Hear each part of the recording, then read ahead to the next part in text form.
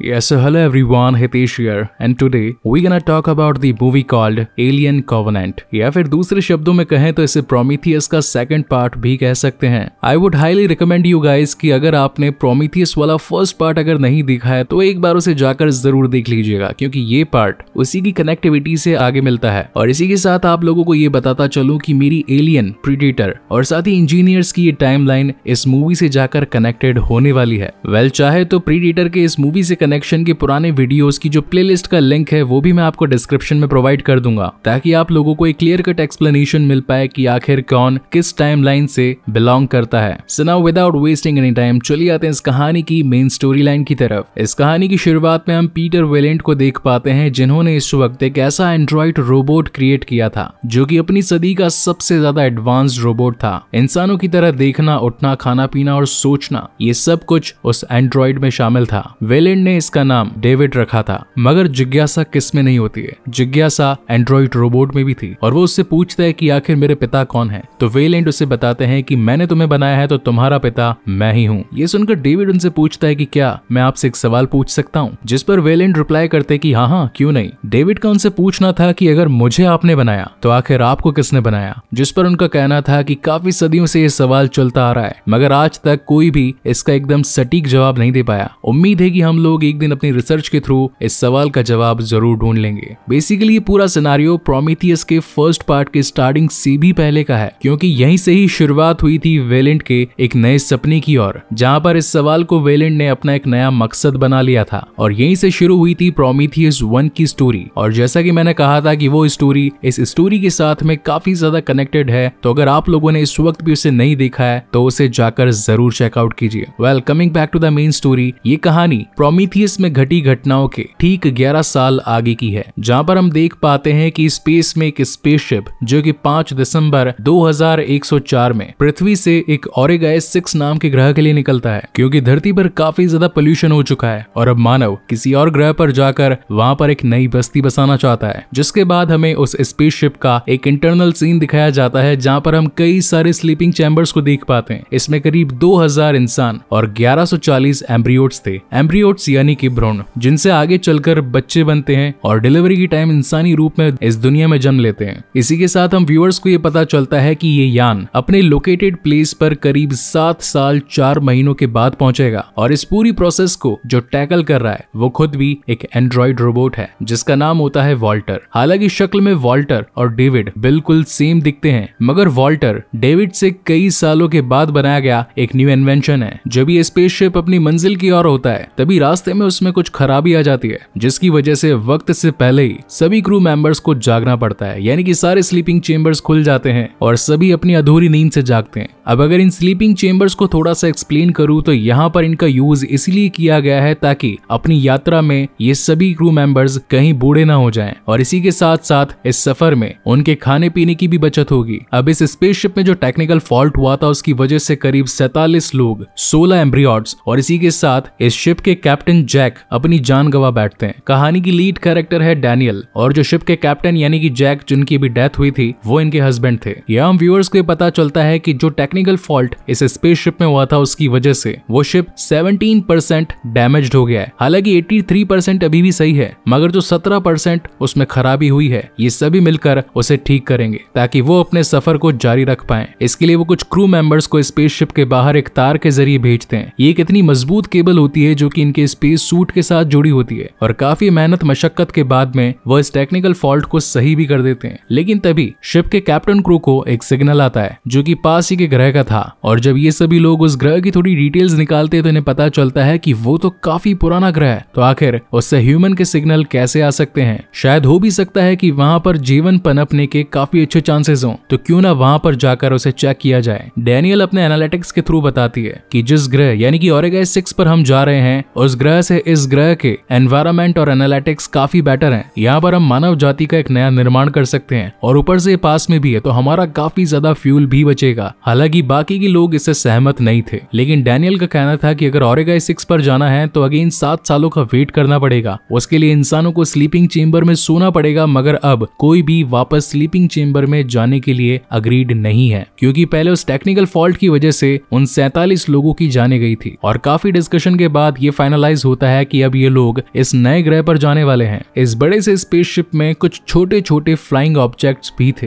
Crew members की एक छोटी सी टुकड़ी पहले नीचे उतरकर इस बात की पुष्टि कर लेना चाहती थी कि सब कुछ सही हालातों में है या नहीं, जहाँ पर इस कहानी के काफ़ी बढ़िया सीजीआई और वीएफएक्स दिखाए जाते हैं, जिसके बाद इनका फ्लाइंग ऑब्जेक्ट ज़मीन पर उतरता है और उसमें मौजूदा टुकड़ी उस सिग्नल को ट्रैक करने की कोशिश करती है जो कि उन्हें अपने स्पेसशिप में मिला था। अपने हाईली एडवांस्ड इक्विपमेंट्स की मदद से इन्हें पता चलता है कि जहाँ से सिग्नल आया था, वो इनकी प्लेस से करीब आठ किलोमीटर की दूरी पर एक ऊँची पहाड़ी से आ रहा है। वहाँ तक पहुँचने के लिए बाकी की पूरी टीम निकलती है, मगर एक लेडी उसी फ्लाइंग ऑब्जेक्ट के पास रहती है, क्योंकि अगर उसे ऑपरेट करना पड़ा या फिर बाकी के लोगों से कोऑर्डिनेट करना पड़ा तो वही लेडी एक मीडिएटर थी। अब जब वहाँ से पूरी टीम आगे बढ़ रही थी तो पीछे दो लोग रुक जाते हैं, क्योंकि उन्हें उस ग्रह के मिट्टी के कुछ सैंपल्स लेने थे, ताकि वो उनके ऊपर शोध करके ये सुनिश्चित कर पाए कि क्या ये ग्रह सचमुच इंसानों के रहने लायक है या नहीं। इसी बीच बाकी की टीम आगे जाकर उस पहाड़ी तक पहुँचने की कोशिश करती है। जब ये दोनों लोग यहाँ पर कुछ सैंपल्स ले रहे थे, तभी गलती से एक शख्स का पैर एक बैंगन जैसे दिखने वाले पौधे के ऊपर पड़ जाता है, जिसके अंदर से उसकी राख या फिर कहें कि कुछ बायोजेनेटिक सूक्ष्म जीव उसके कान के रास्ते शरीर में पहुँच जाते हैं। वहीं दूसरी ओर जो बाकी की टीम अपने रास्ते की ओर आगे बढ़ रही थी तो उन्हें एक एलियन स्पेसशिप दिखाई पड़ता है। और गाइज़ ये वही स्पेसशिप है जिसे कि हमने प्रोमीथियस की फ़र्स्ट मूवी में देखा था। उस शिप की ओर आगे बढ़ते वक्त एक इंसान को अगेन ऐसे ही कुछ पौधे दिखाई पड़ते हैं, और जब वो उनके करीब बढ़ता है तो उसके अंदर से अगेन वही छोटे से सूक्ष्म जीव उसके नाक के ज़रिए बॉडी में एंटर कर जाते हैं। वही सीन शिफ्ट होता है शिप की तरफ़, जहाँ पर ये सभी उसके अंदर आ चुके थे। उस जगह की जाँच पड़ताल करते वक्त डैनियल को एक लॉकेट मिलता है, जिस पर लिखा था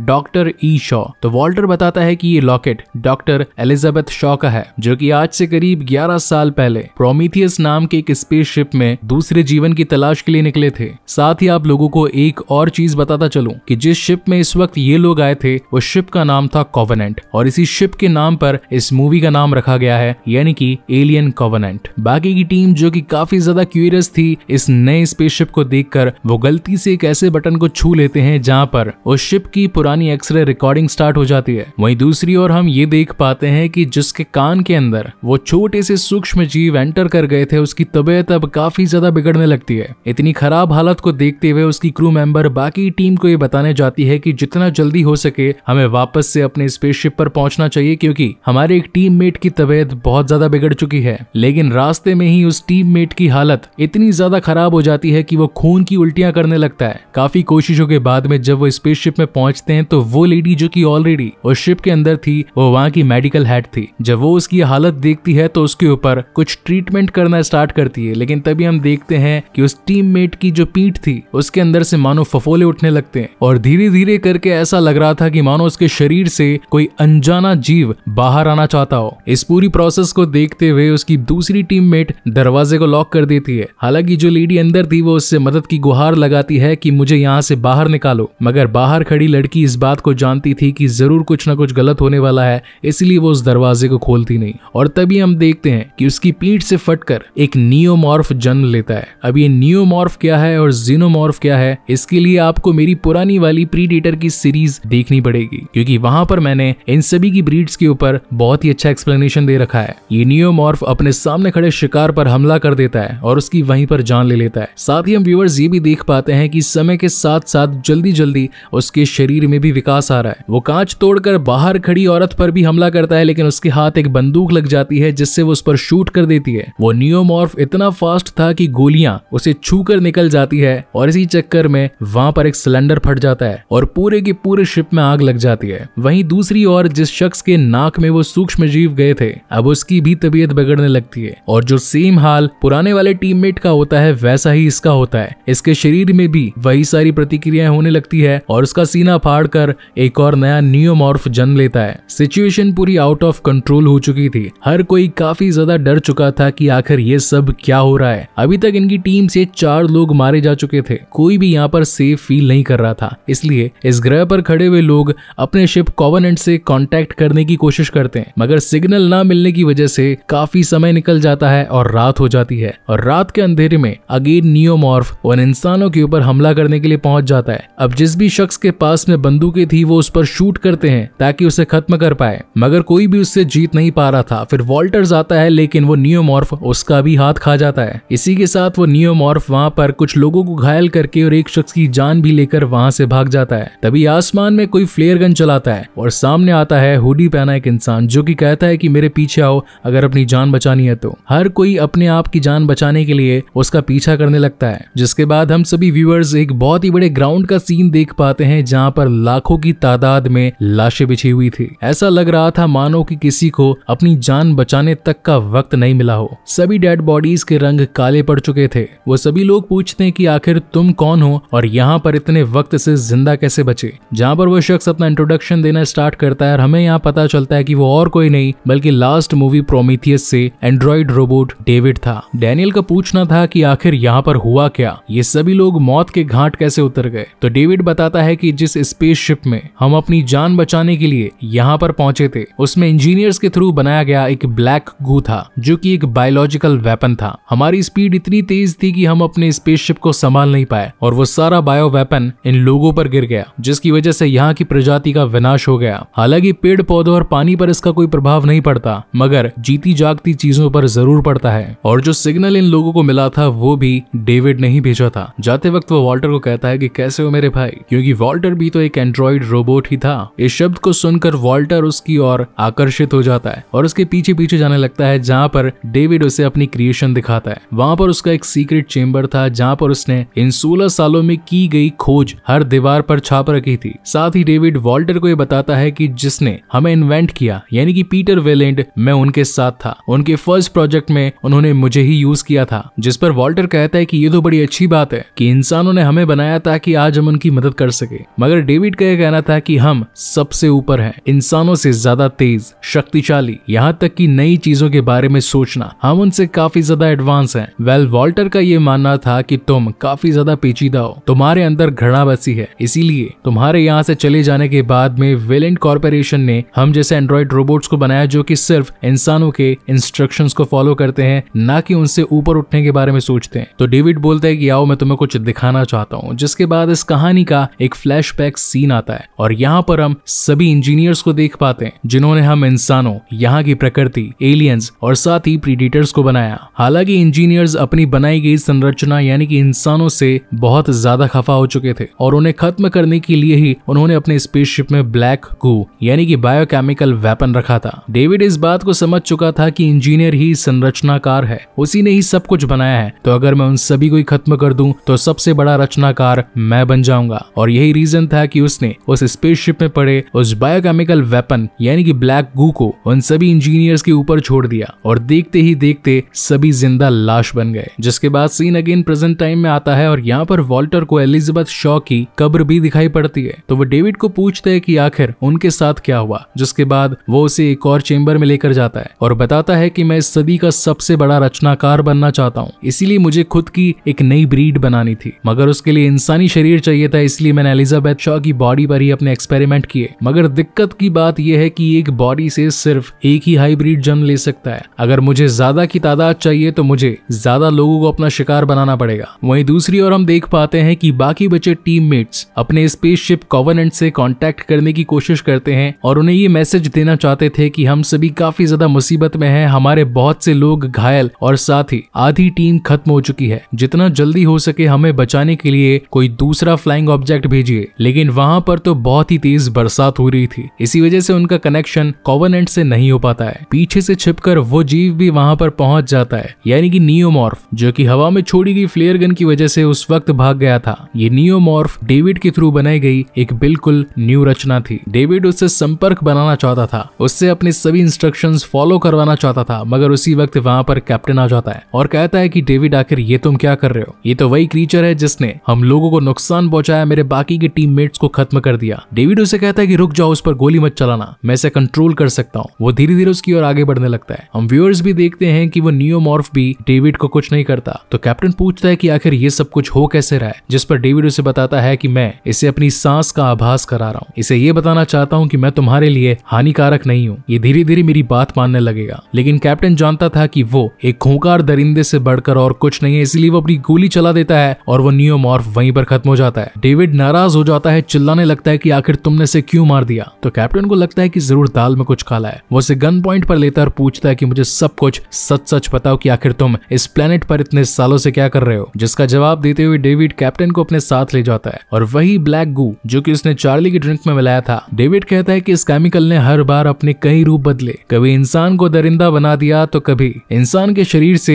एक नया दरिंदा ही पैदा कर दिया। और अब मैं इसकी मदद से एक बिल्कुल न्यू हाइब्रिड बनाना चाहता हूँ, जिसमें तुम मेरी मदद करोगे। तभी हम देखते हैं कि वहाँ पर मौजूद काफ़ी सारे बड़े बड़े अंडे, जो कि इस वक्त खुलने के लिए तैयार थे। कैप्टन पूछता है कि आखिर क्या हो रहा है? तो डेविड कहता है कि बस कुछ पल का इंतज़ार और सब कुछ क्लियर हो जाएगा। तभी हम देखते हैं कि उन अंडों में से एक फेस अगर निकलकर कैप्टन के मुँह पर चिपक जाता है। थोड़ी देर बाद जब कैप्टन होश में आता है तो वो डेविड से पूछता है कि आखिर मेरे साथ क्या हुआ? जहाँ पर डेविड उसे बताता है कि तुमने एक नए विकास की शुरुआत करी है और तभी उसका शरीर फटने लगता है और उसमें से एक न्यू हाइब्रिड जन्म लेता है, जिसे कि हम हाइब्रिड जीनोमॉर्फ भी कह सकते हैं, जो कि पुराने वाले जीनोमॉर्फ और साथ ही नियोमॉर्फ से कई ज़्यादा खतरनाक था। इस वक्त वहाँ पर वॉल्टर भी पहुँच जाता है, जो कि एलिजाबेथ शॉ की खराब हालत में पड़ी हुई बॉडी को देख पाता है। अब जाकर वॉल्टर को क्लियर होता है कि वो जो कब्र थी, वो नकली कब्र थी। और साथ ही, स्पेसशिप से वो ब्लैक गू यूँ ही नहीं गिर गया। डेविड ने जान कर उसे गिराया। वो सबसे बड़ा और महान रचनाकार बनना चाहता था। इसीलिए उसने इस पूरी प्रजाति को ही खत्म कर दिया। इस बात पर इन दोनों एंड्रॉइड रोबोट्स के बीच में फाइट हो जाती है। वही दूसरी ओर हम डैनियल को देख पाते हैं, जिसे कि अब ये आभास हो चुका था कि ये जगह खतरों से भरी हुई है। कहीं से भी कोई भी जीव निकलकर इंसानों को बस मारने पर ही तुला हुआ है। उन्हें जितना जल्दी हो सके, इस ग्रह को छोड़कर जाना पड़ेगा। धीरे धीरे समय घंटों में बदलता जाता है और वहाँ का मौसम, जो कि इस वक्त बारिश और बादलों से घिरा हुआ था, वह साफ़ होता जाता है। साथ ही इनके टीममेट्स का कनेक्शन भी कॉवनेंट से हो जाता है, जो की इनको बचाने के लिए उस स्पेसशिप से एक छोटा फ्लाइंग ऑब्जेक्ट ज़मीन पर उतारते हैं। अब क्योंकि इनकी टीम में वॉल्टर और साथ ही कैप्टन नहीं थे तो कुछ लोग उन्हें ढूँढने के लिए उसी प्लेस पर पहुँचते हैं, जहाँ पर वो हाइब्रिड मौजूद था। और हाइब्रिड को तो अपना नया शिकार मिल ही चुका था। साथ ही ज़िंदा लोगों को देखकर कुछ फेस हगर्स भी निकल चुके थे, जिनके लिए इंसानी शरीर नए विकास का एक ज़रिया था। वहीं उस खाली मैदान में वो फ्लाइंग ऑब्जेक्ट उतर चुका था, जिसमें इन बाकी बचे हुए लोगों को पहुँचना था और अपनी जान बचानी थी। मगर वो खुला दरिंदा इनका पीछा कहाँ छोड़ने वाला था? वो न्यू हाइब्रिड जिनोमॉर्फ इनके पीछे पड़ जाता है। और अगेन इस कहानी के बेस्ट सीजीआई और साथ ही टॉप नॉच ग्राफिक्स हमें दिखाए जाते हैं, जिसके अंदर उस स्पेसशिप पर डैनियल और उस न्यू हाइब्रिड जीनोमॉर्फ की फाइट हमें दिखाई जाती है। वो एक केबल के ज़रिए लटक जाती है और उसे धकेलने की पूरी कोशिश करती है और काफ़ी मेहनत मशक्कत के बाद में वो इसमें सफल भी हो जाती है। और अब ये सभी लोग तैयार थे उस फ्लाइंग ऑब्जेक्ट की मदद से अपने शिप कोवनेंट में जाने के लिए, जिसके बाद हमें कोवनेंट शिप का सीन दिखाया जाता है। पूरा माहौल एकदम शांत था